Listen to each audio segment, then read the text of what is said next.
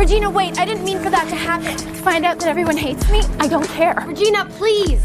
Regina, stop! Do you know what everyone says about you? They say that you're a homeschooled jungle freak who's a less hot version of me.